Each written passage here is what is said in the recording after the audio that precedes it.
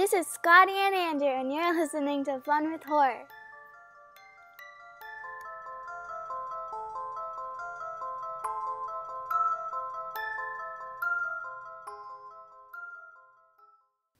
Hello to our amazing horror family, fans, friends.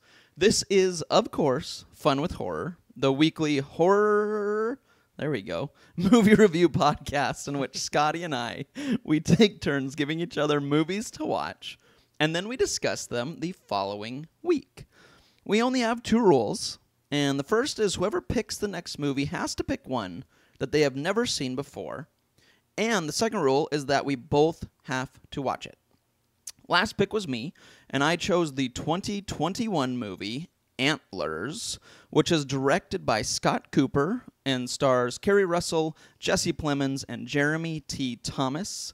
Um, and then again, please be sure to stick around to the very end of the podcast where we are going to hear Scotty's pick for next week's movie.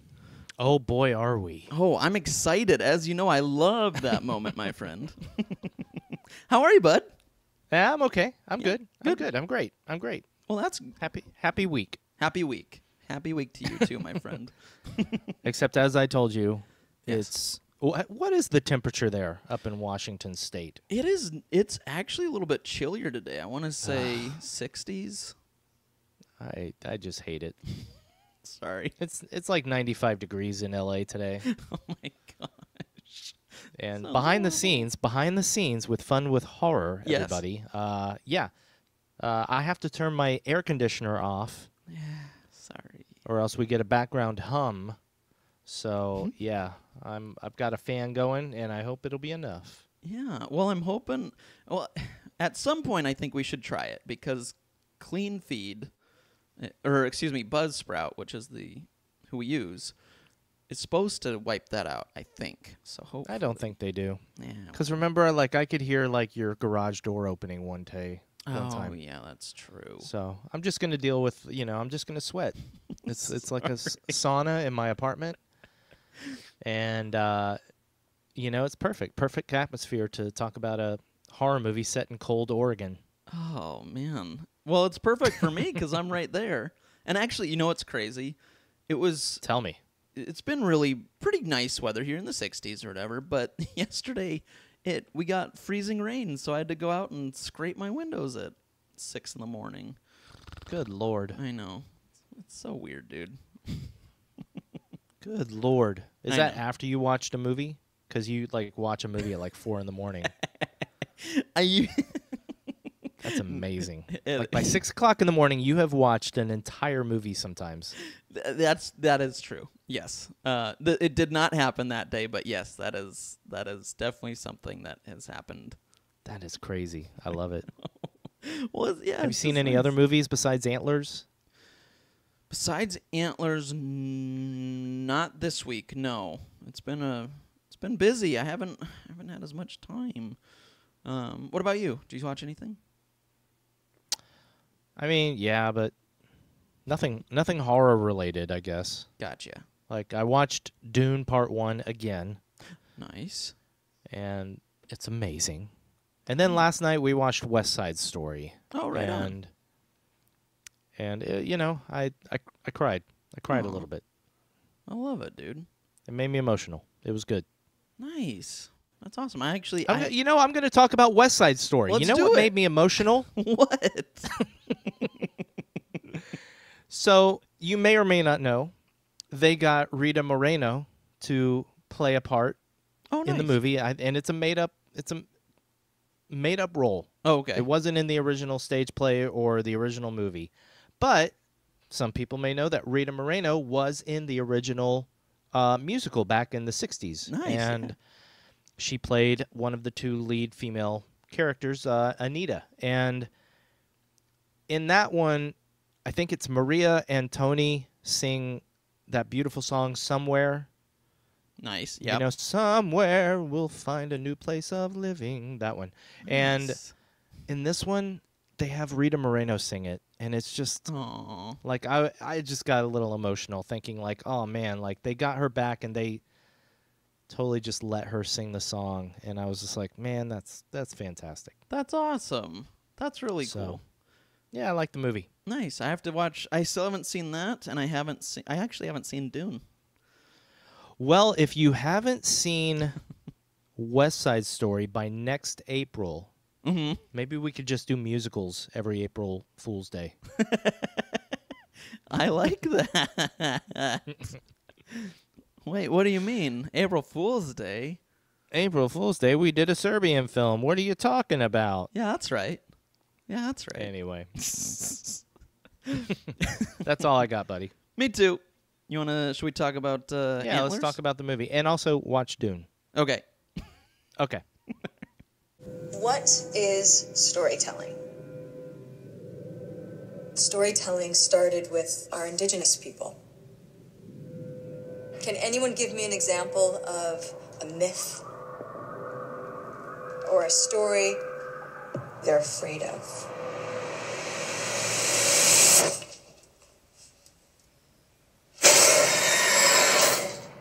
Okay, so Andrew, Yes. now that we've talked about the wonders of West Side Story, let's talk about the movie that you chose. oh yeah.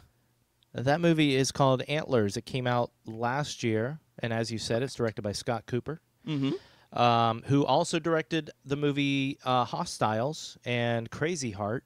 Right. And I told you last week that I really enjoyed Hostiles. Yeah. Um, and it's produced by Guillermo del Toro, Right. which I had completely forgotten. Me too. Until today, actually, when I was getting stuff ready, I went, "Oh, what?" Yeah, totally forgot about that. So before we move on, let's uh, everybody out there, if you have not seen Antlers, uh, we are about to spoil it.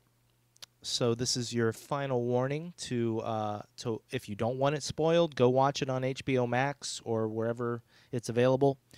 And uh, yeah, so Andrew, Yeah. Andrew, Yeah. It's me. you're about to have three minutes on the timer Oh, to Okay. This movie for us. okay. And are you ready? At three minutes, I'm going to stop you, and y- I hope you have your stopwatch ready too. So I you know have it where you're ready. at. Yeah. Wonderful. Yes. All right. On the count of three, three, two, one, recap.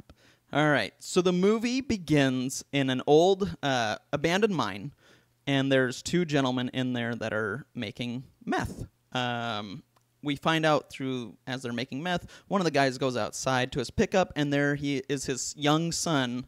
Um, I don't know, probably eight years old. No, probably less than that, five years old, something like that. Anyway, he says, you know, stay in the car. I'm almost done. He goes back in. They start making their meth again. They hear these weird noises in this mine they eventually get kind of destroyed by something in there as as we hear all these noises we see the little boy that was in the pickup go to the mine entrance and walk in cut to antlers. We see the kind of openings opening shot. Um, at the very beginning after this we see uh, keri russell is playing a woman named julia meadows. She's a teacher at the local school and she has moved in with her brother who is played by jesse plemons and the brother's name is paul and he is the local uh, police he's a local police officer. Um, throughout the movie we find out both of them were heavily heavily abused by their father who is now dead and that is one of the reasons julia has moved, moved back is that the father's not there and she wants to be with her brother paul because she loves him dearly um, in her classroom, though, we see this young man by the name of Lucas, uh, who's drawing these very dark pictures. And at one point, she says, "Tell your, your tell the story that was your homework assignment. Go ahead and start." He tells a story about these three characters: Papa, brother, and young brother, something like that, and how Papa has become really different and angry and scary. Well, it turns out that Lucas is actually the son of one of the people making meth at the beginning, and the young boy that went in is his little brother. Throughout the movie, we find out that those two survived whatever attacked them in the mines. They got home, and they were acting very odd. Uh, Lucas is now taking care of them as they are starting to transform as they're becoming monster like. The dad is quite crazy at this point. Um, at one point, the principal from the school goes to do a welfare check on Lucas. She gets eaten by the dad, who is locked up in the attic, by the way, by Lucas. Um, he he takes a bite of her, and all of a sudden, something rips out of his body. Uh, we then see that throughout the movie. We see this creature is now mauling a few people. Uh, anyway, at the end, towards the end, because I'm running low on time. Um, Julia basically adopts Lucas. Uh, the big monster attacks a bunch more people. Keri, or excuse me, Julia kills the monster. It turns out um, that the little brother is about to turn into a monster as well. Julia kills him, the little brother, and then at the end we find out that Paul, Julia's brother, is going to be this next creature. Done. Just stopped it with five seconds. That was so hard, dude. Oh wow. Gosh. Yeah, I left yeah. out a whole lot in that movie, but Well, yeah, you know, you know, I and I, I knew, I knew you were gonna come up short because you just, you, you were like thirty seconds of your three minutes was like all about the intro to the movie. because it was quite the intro, man. I know, but I know. yeah, Yep. we're, we're gonna have to get good at that because I did the same thing last week. Yeah, I know your tough. pain. Oof, But okay, so now that you've recapped the movie in such exquisite detail, uh, what did you think, my friend? First of all, did you watch this alone? uh, yes, I did. Okay. Yep. What did you think of Antlers? My initial thought of Antlers is, and still thought, is it was fine. Um, I thought it was there was some really cool visuals. There was some uh, really great acting, especially, and I'll highlight him more later. But the character of Lucas Weaver, played by Jeremy T. Thomas, I thought he was fantastic. This young actor. I hope we see more of him. Um, but the movie, all in all, I would say was okay. That's about it. Okay. it was okay. All What about you? What did you think of Antlers? Uh, we're gonna we're gonna have another uh, one of our few disagreements here. Okay. I loved Antlers. Whoa. Okay. Loved it. Uh, I have issues with it. I Mhm. have some, well, not really issues, but more thoughts Right. about it. But, um, you know, I watched it last weekend, uh, by myself with the Mhm. lights out, and I, you know, I'm gonna try and watch every one of our movies like that from now on Nice, yeah. because I, I was, yeah. I mean, this movie got me. Nice. I it you know I was fine afterwards and everything. I wasn't like I wasn't awake all night, but Right. I yeah. While I was watching this, I was freaking scared. Nice, dude. I love So, that. yeah. I love that. So well, let's go into more detail with you. Why Okay. Did you, why did you just think it was just okay? So for me, the biggest thing, um, even though there's some bigger moments in this movie, obviously with with qu- quite a bit of violence, to be honest, in those moments, um, I thought it was pretty slow, and You thought it was slow. I did. I thought it was. I Oh, just interesting. yeah, I was kind of waiting for it to pick up. I guess I don't know, but I just yeah, I thought it was kind of slow. It dragged a, for again. This is all subjective, of course, but for me, I just Yeah. kind of it kind of just dragged a little bit, and so That's um, very subjective because uh, when I had it on today, I was making note of how how good the pacing was. Whoa, right on. Okay, Yeah, yeah.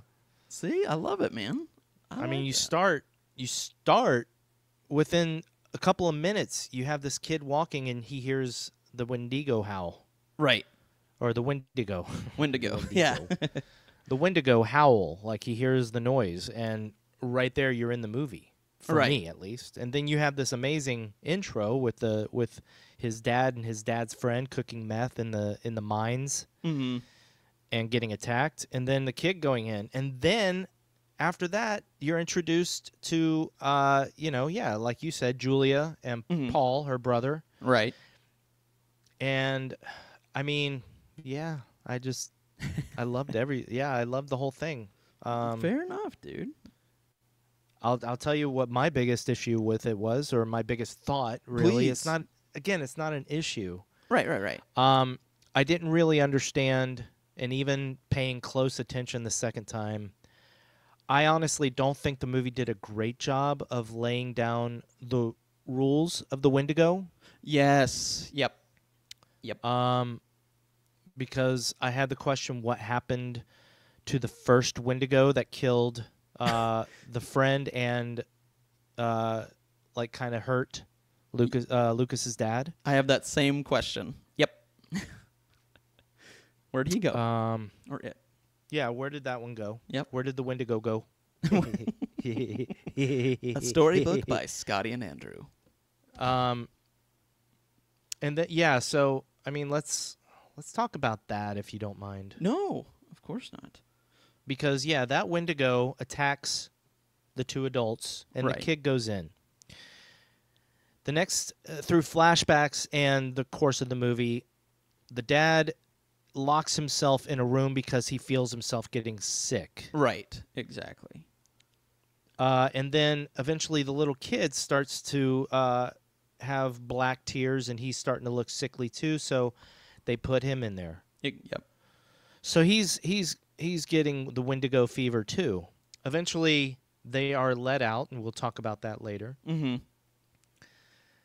Um, and then at one point they the the Wendigo the the dad is now a full full blown Wendigo. Right. Yeah. and the dad uh he he attacks uh paul jesse plemons Mm-hmm.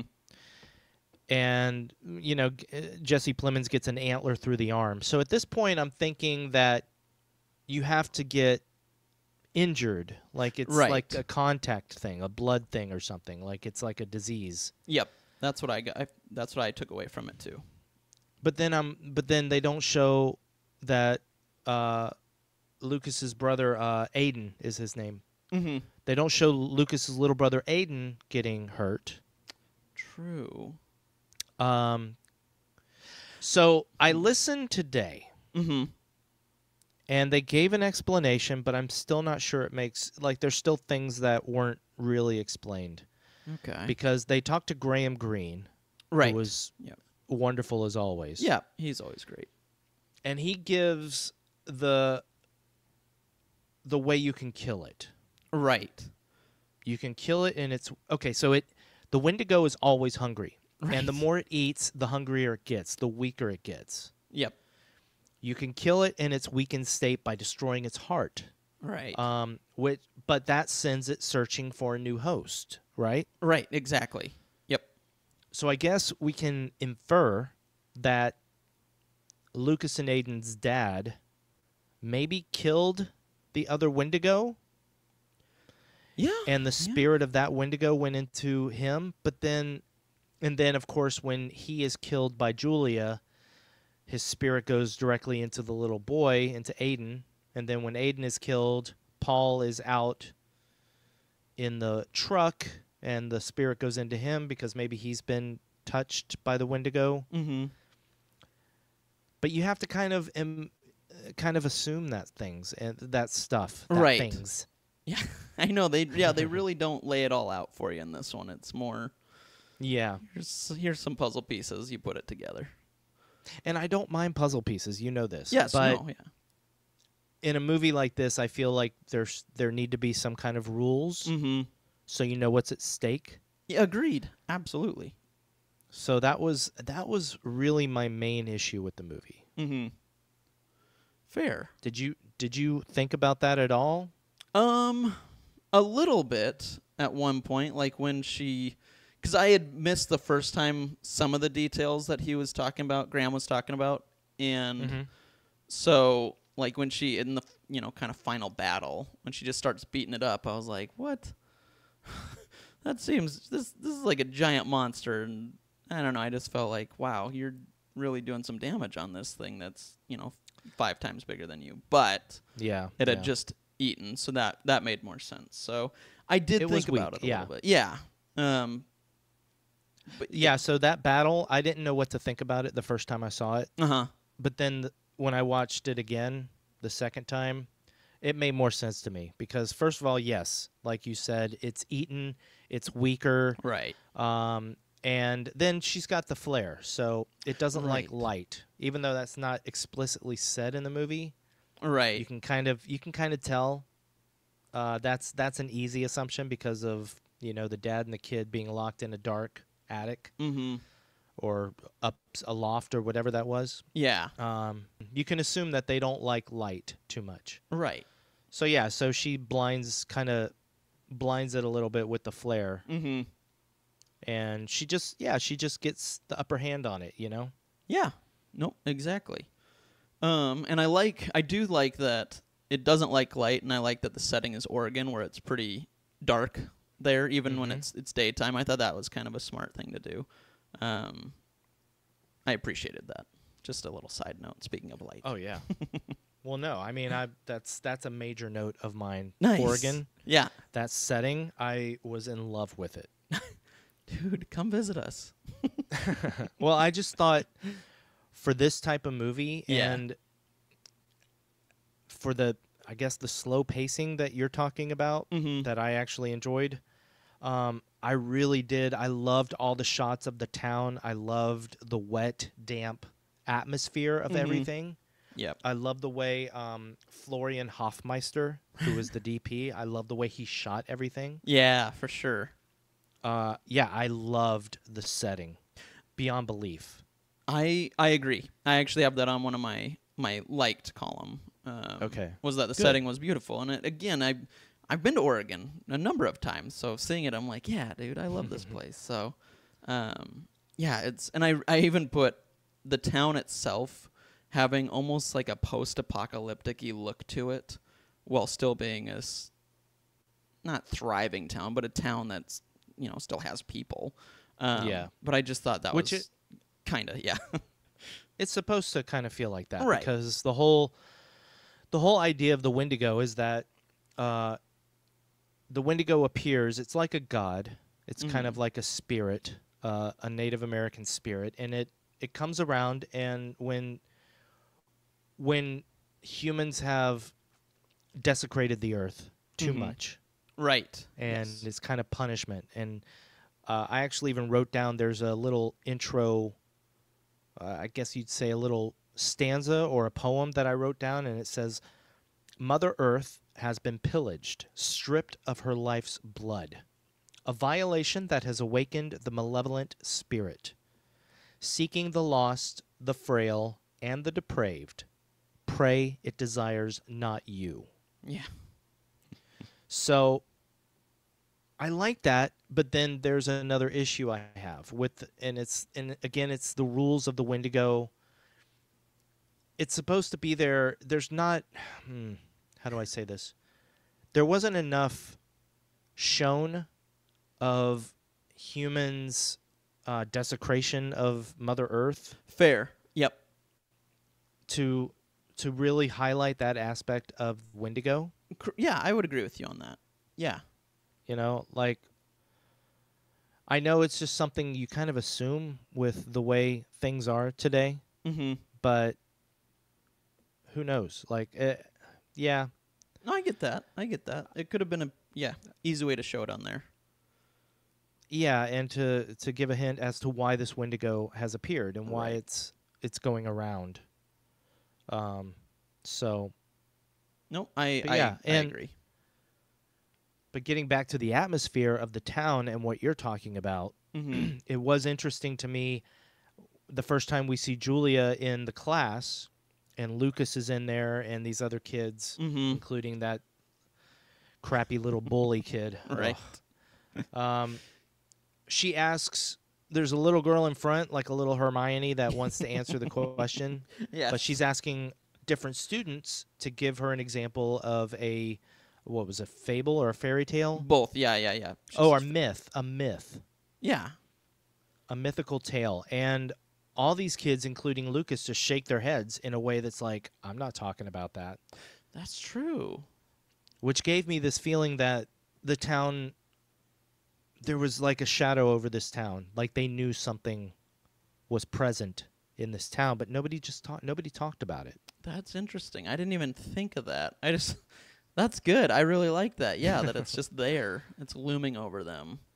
Well i liked bad. it but it, again it's another thing that just really wasn't explored too much after that after Right. that it's just lucas dealing with his brother and father which right. was oh Yeah. just amazing. It was great, but it was just disturbing. Absolutely. fantastic. So well done. Yep. Yep. I have some notes on that for sure. Tell me those notes. Well, I just I liked that atmosphere of it. I liked that style of everything that was happening. I thought it was horrifying. Um, but there was that one moment where we kind of get the flashback of of right after um, they came back from their, their the meth lab in the in the caves or whatever. Yeah, yeah. And I love that we kind of see that deterioration. And we see Lucas not knowing what to do. But that moment where he grabs, where we see, you know, Aiden is now also sick, and the dad pulls him in and closes the door, and you just see Lucas scream. It was Yeah, yeah. so. That was a great Just scene. but- Screaming like pain and frustration. Exactly, exactly. But I loved that scene. I, I didn't not because of what it was. I just thought it was such a powerful scene, and I thought, like I said, that was the scene where I just went, "Whoa, this kid is good. He's a Yeah. good little actor, man." No, there's there's not really any joy whatsoever in this movie. There's really not. but that's okay. Like I'm okay with that.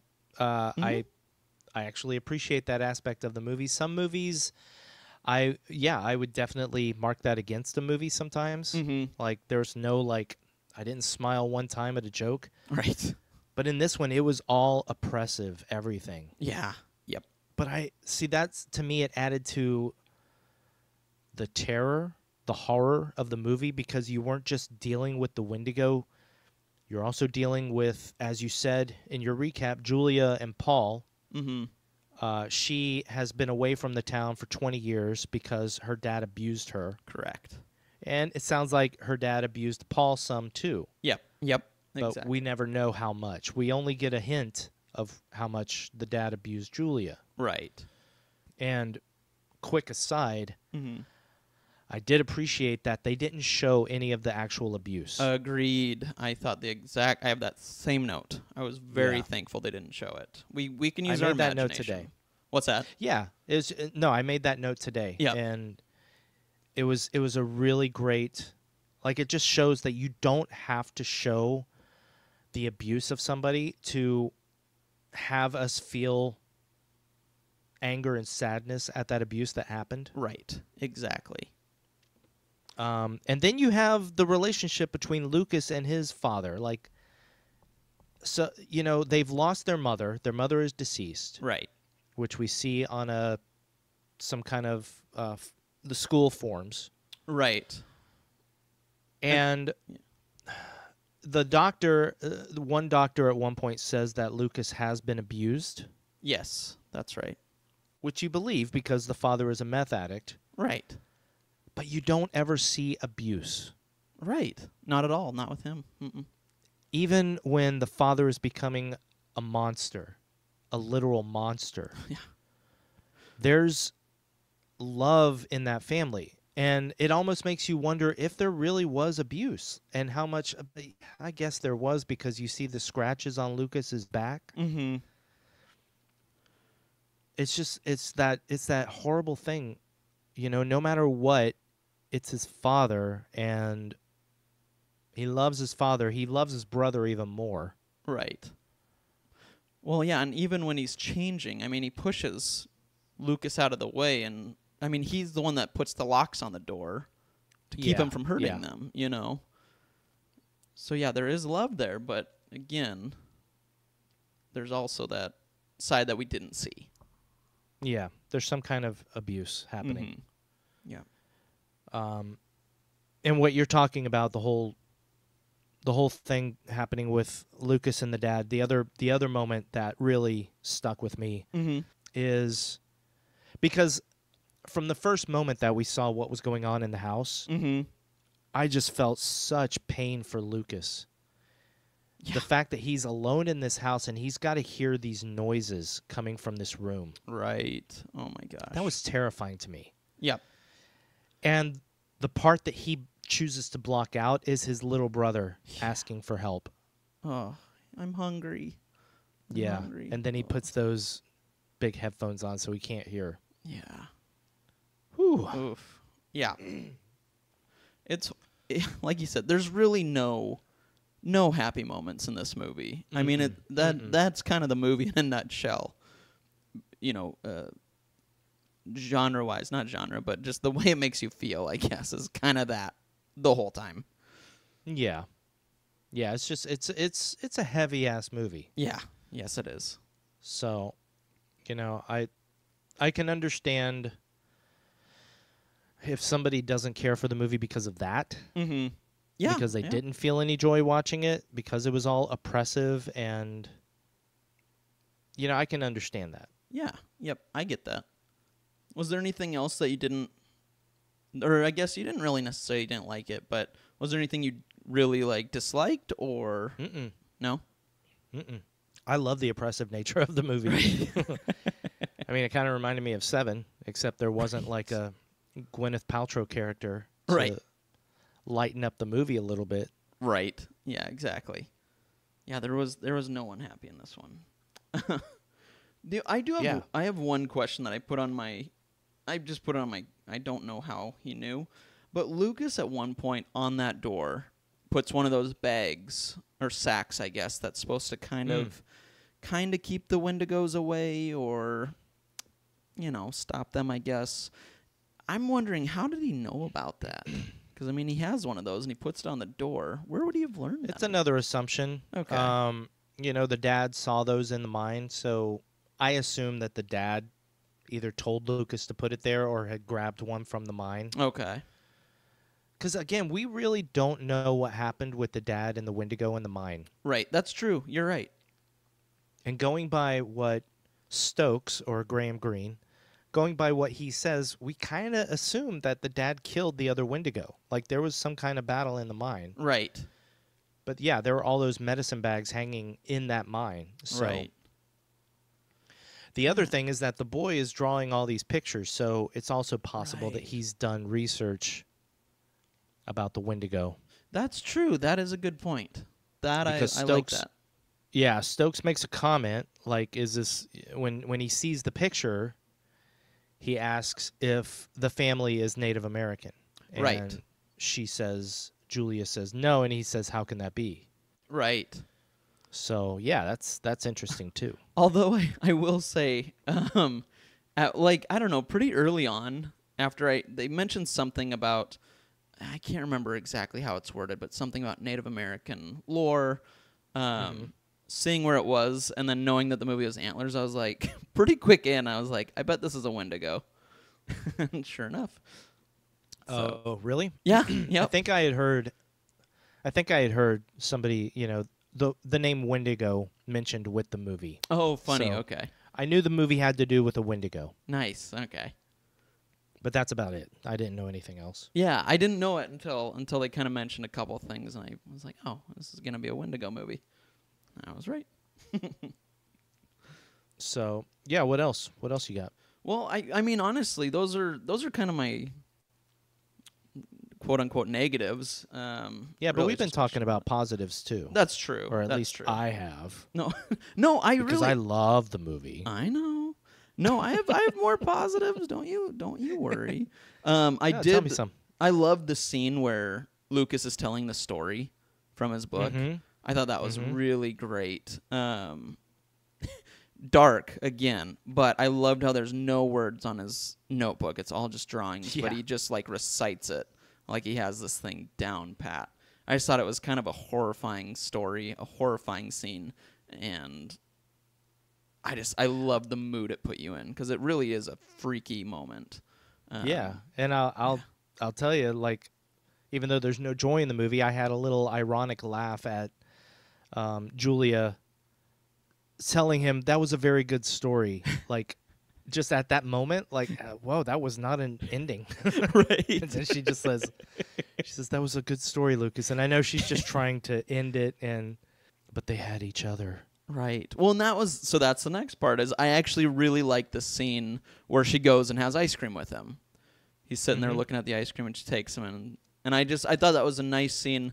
That was kind of our happiest moment of the whole movie. But again, they've both experienced trauma, and so they do have that where they can kind of connect because of that trauma. But I loved I loved his line at the end where she's obviously been following him, where he gets up and says, "I'm going home. Don't follow me this time," and then just Yeah, leaves. And I was yeah. like, "Oh my gosh!" It's just it was a really that was a great scene, really great. I agree. Yeah, Yeah. I liked it. Um, and I, I suppose that could be one of the few moments of somewhat joy in the movie, Right. like or a lighter moment. They're having ice cream together. Mm-hmm. Yay, Yay. yay. Yep. I think the movie takes its turn when Principal Booth, played by Amy Madigan, Yeah. goes to the house.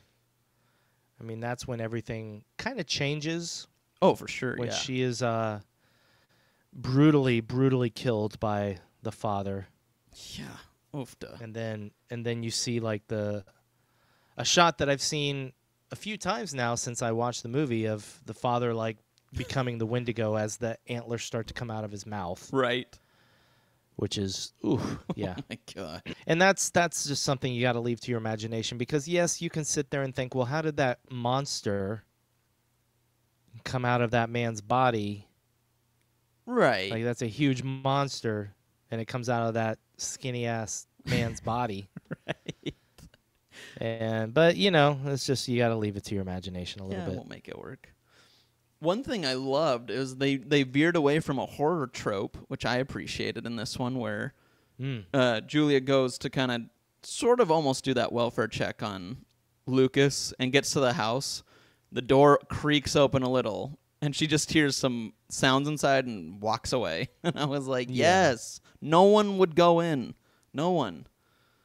Well, So- except for the principal. Except she the couldn't hear anything. Right, And then eh, right. she's- She's concerned with the children. Exactly, and she was there for for a welfare check, which is which happens unfortunately. Yeah. Um, yeah. you know, but yeah, I just I loved that she didn't go in. I appreciated that veering away from that trope. I I I like that. I did too.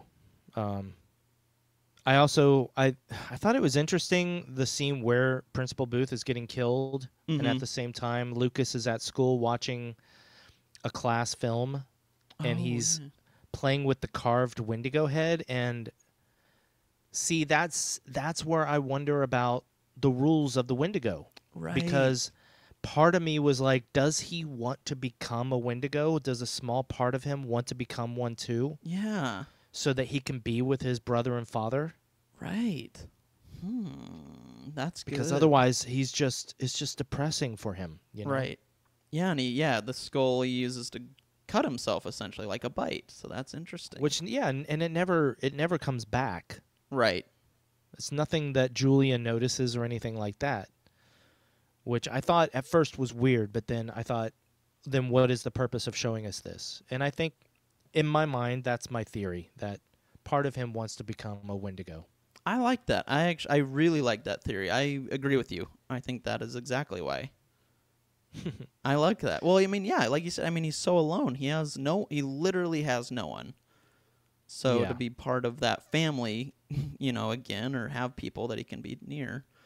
Hmm, that's good. That- Hmm. Good job, Scotty. I like that. hey hey you know i'm telling you titan it made me think about movies differently Beautiful. Uh, I kind of hated that I was so satisfied by the death of the little kid bully. yes. No. it's like, oh, he's a he's just a little kid, but man, he was a little crapper. yeah, I was He was a bully. he was a bully. He was That's yeah, what bullies get. snot. They get killed by wendigos. I did like that scene though, where they just Oh, you it just was hear terrifying. it. Oh my was so- well, you do kind of see it real Right. quick too. Yeah, you see no, it jump yeah. on the kid Right. And start to chomp down. Jeez. I know. Oh my gosh. And I love too that shot of just you just see Lucas run and the camera follows him and in the background just like oh my gosh. That was a All good right, scene. so so Lucas, they come to his house. hmm He goes he goes to his house, and when he gets there, the police are there, and blah blah blah, and he goes to the hospital. Right. and we have the scene with Julia and Paul deciding what to do with Lucas, and eventually it's decided that Lucas goes to their house, right. which brings me to the scene I've wanted to tell you about. the the scene I've been most excited to talk to you about. Ooh, yeah. So, uh, Officer Lacroix, played by Rory Cochrane, who I love. Oh Uh, nice. I've loved him ever since Dazed and Confused. Nice. So he plays the officer. He's there watching the house, Right. and he hears stuff. so he goes to the shed to check, and he sees Aiden in a little box. Right. Aiden's head pokes up.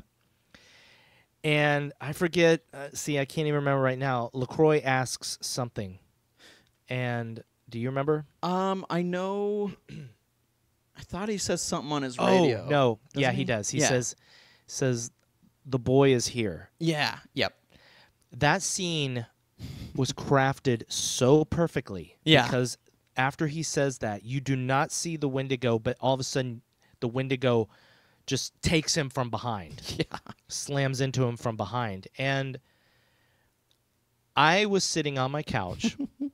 I had Bowie, Oh, sweet little Bowie, on my lap, oh, and I, you know, as I do, I she just she's just sleeping, and I had, you know, she had her head on one of my mm-hmm. arms, and I had my other hand on her back, and you know, just keeping her calm and and comfortable, and I jumped so hard at that moment. I I can probably say that I haven't jumped at any of our movies like I jumped in that moment. Nice. And I jumped so hard that I scared the crap out of Bowie.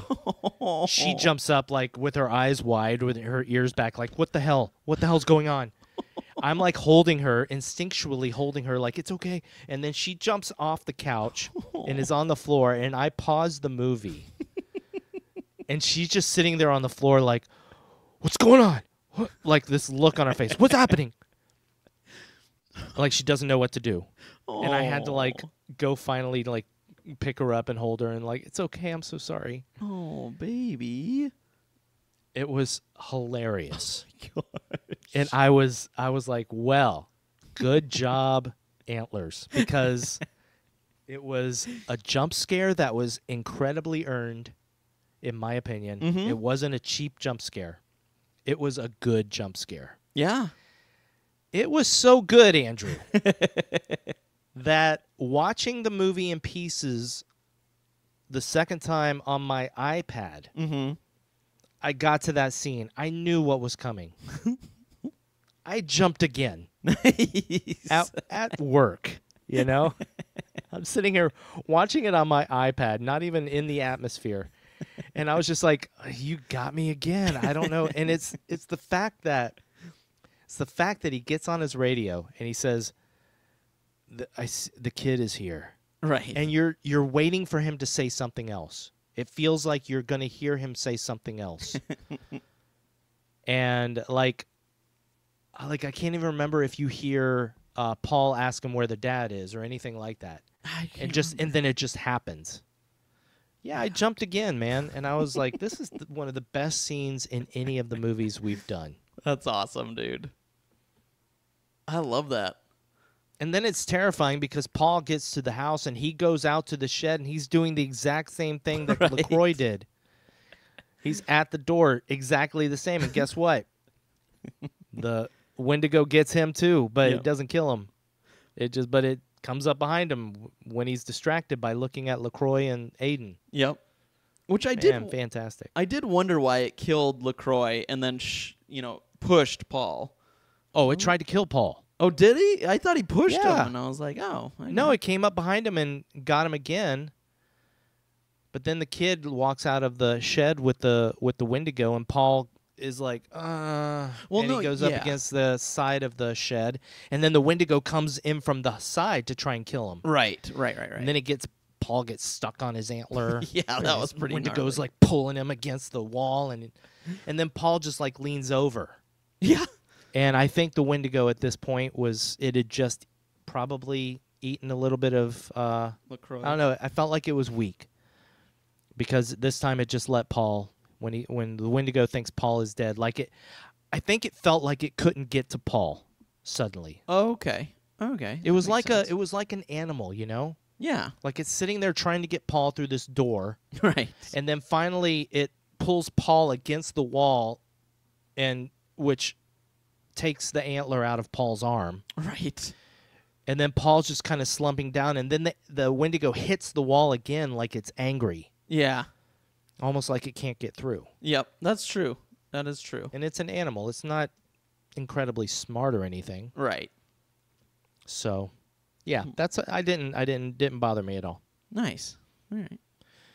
So, What did you think? What did you? So we talked a little bit about the battle.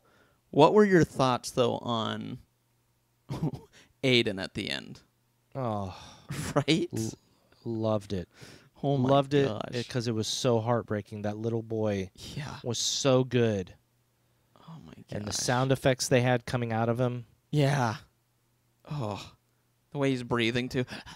Oh man. Yeah. Oofda.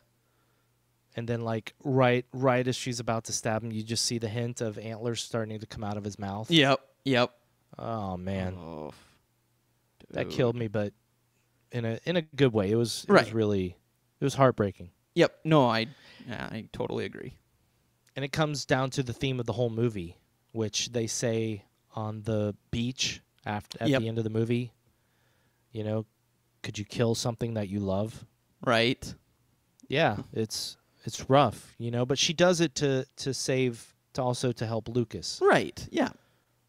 which I do love. I love the transfer of love Yeah. you know this love that she hasn't really been able to feel to any anybody except for maybe her brother Right.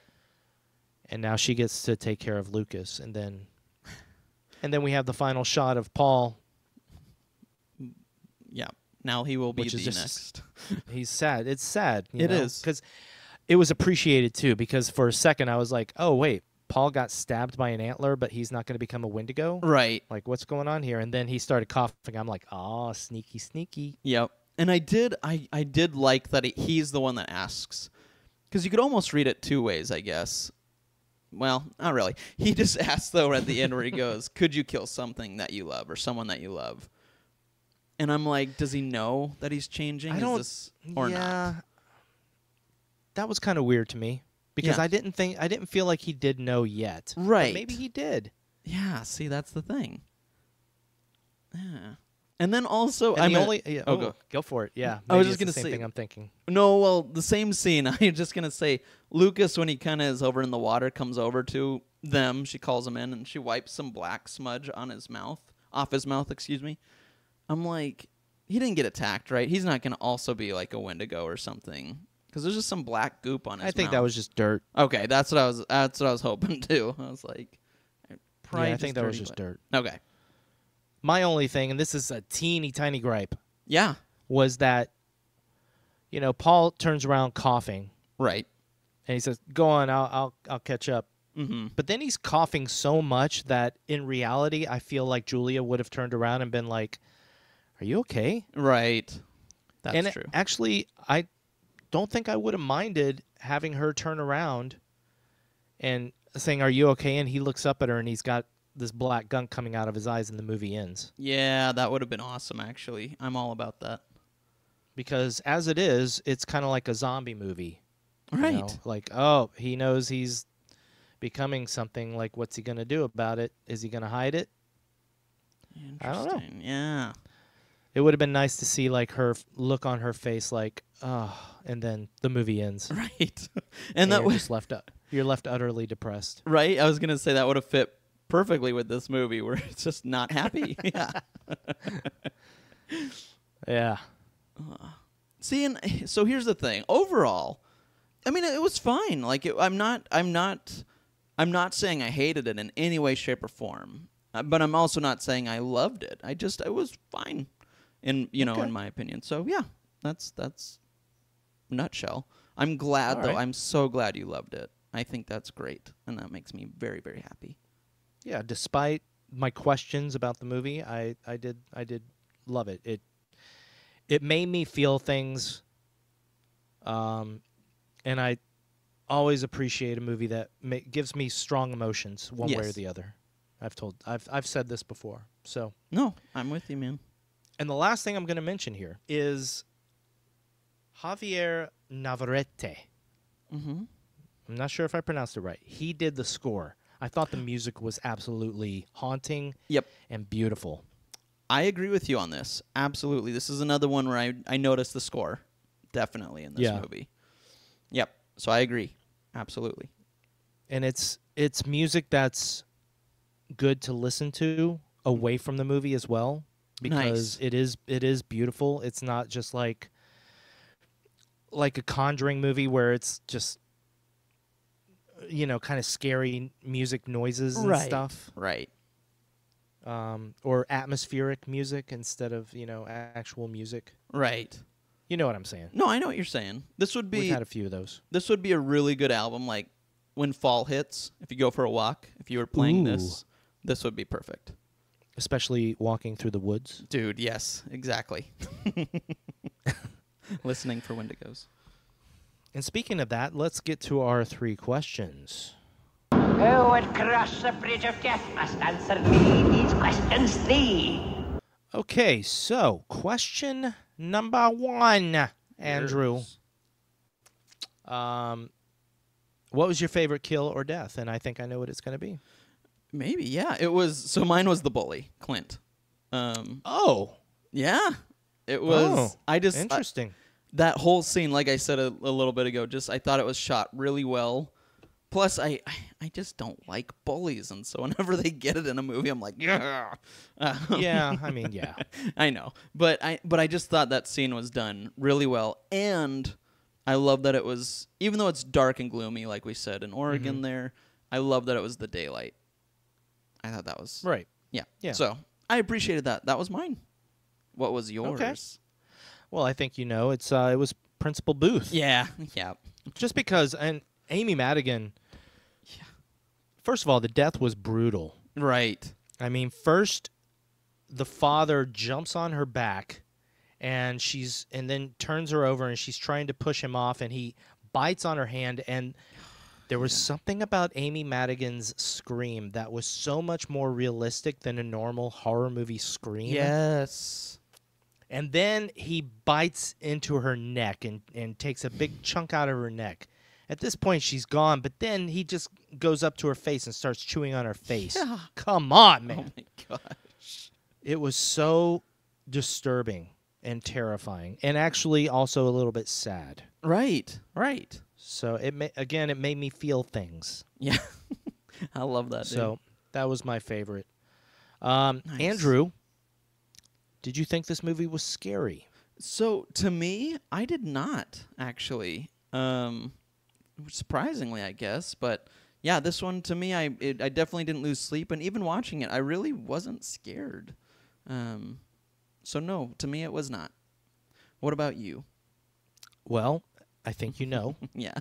Uh, I didn't lose sleep, but yeah, I think this movie is actually very scary, and I think, I think that the the the human relationship part of the movie, the the dealing with the trauma, Right. Yes. I think that added to the fear of the movie. Um, and I think the movie, I, I felt like Scott Cooper did a fantastic job at, at ratcheting up the tension in the movie Nice.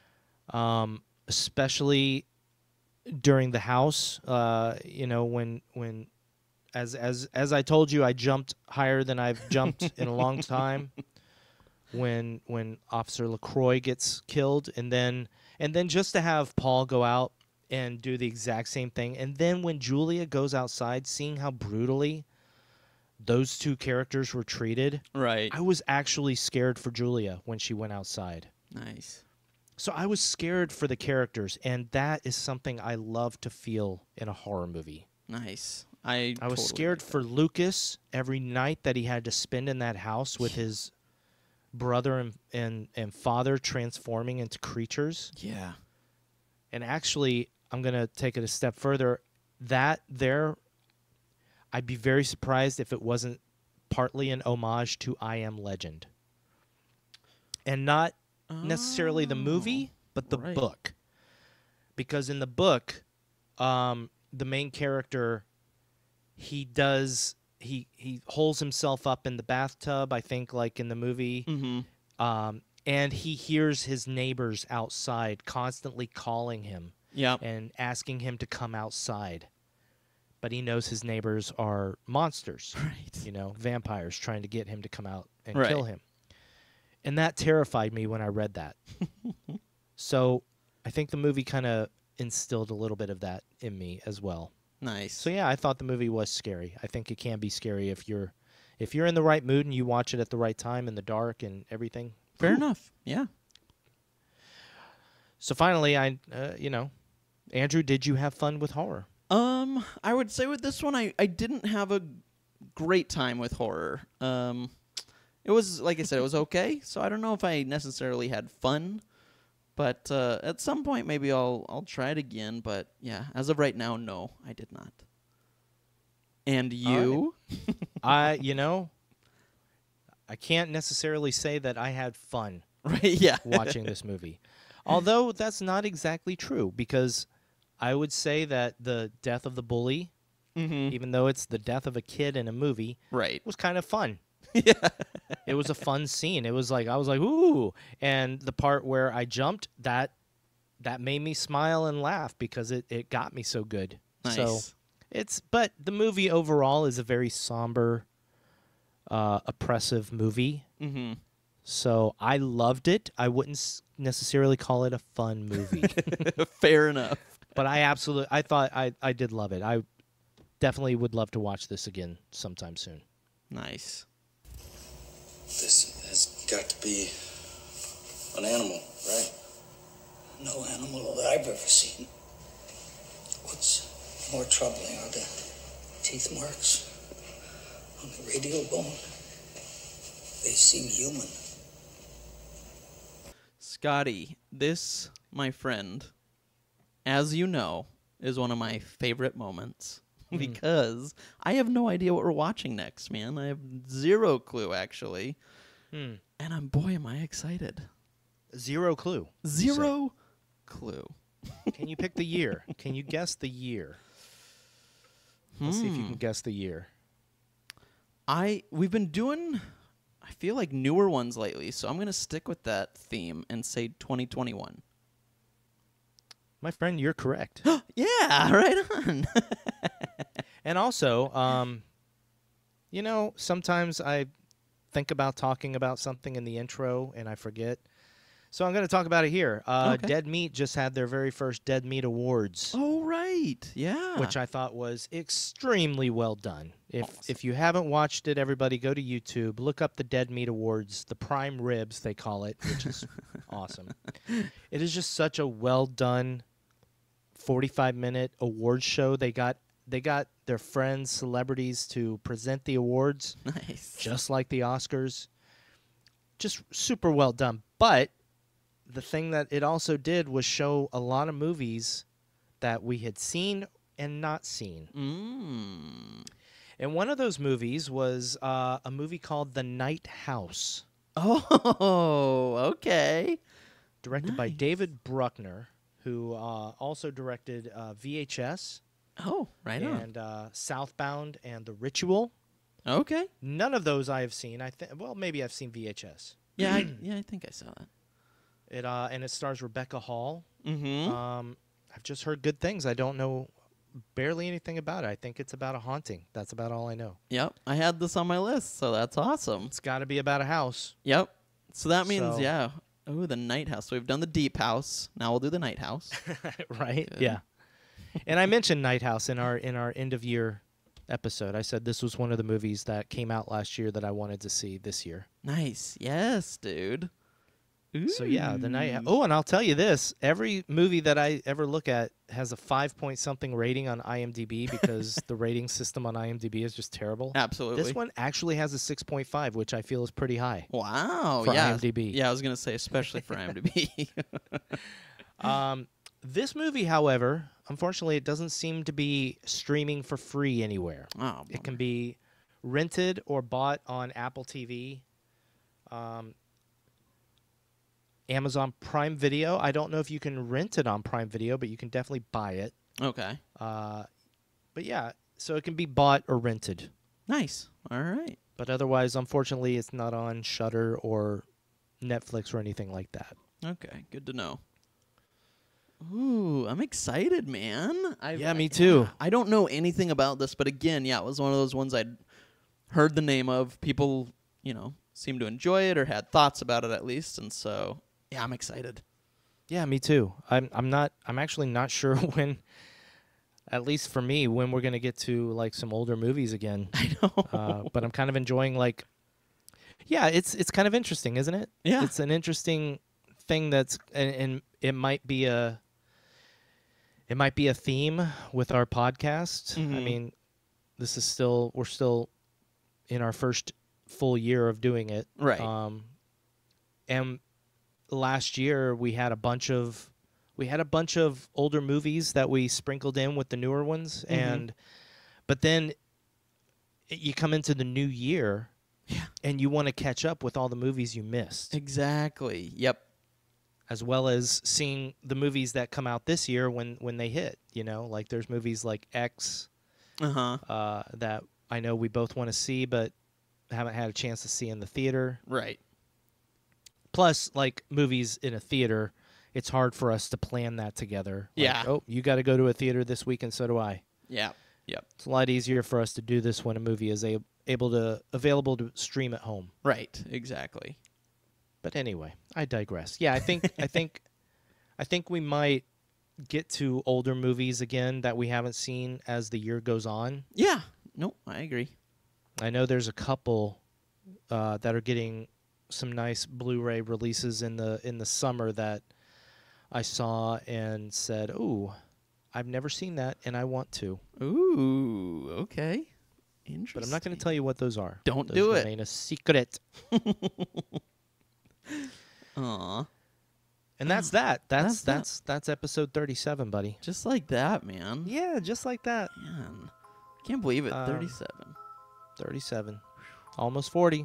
Almost getting 40. Almost there. Almost there. Getting, yeah, it'll be crazy. This podcast we- is now older than you. but not as old as me. Well, at heart, though, it's it's a lot older than you. Yes. yes. Aw. Uh, buddy, I love you. I love you too, man. This was awesome. And everybody out there, thank you for listening. yes. Um, this week, find us on Twitter at FunWHorror. yes. And, uh, and say hello. We're there. Say hello. Yeah, we want to see you. We want to hear from you. And we do. We do hear from some of you, and it's wonderful. It we is. we love hearing from you. So, all right, Andrew, you have a wonderful uh, you have a wonderful week night week. Yeah, you have a you have a great week. You have a great night house week, buddy. You have a great night house week as well. uh, I love you, bud. I love you too. Bye bye.